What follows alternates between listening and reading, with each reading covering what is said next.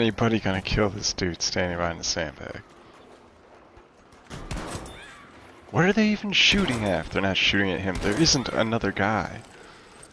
Idiots.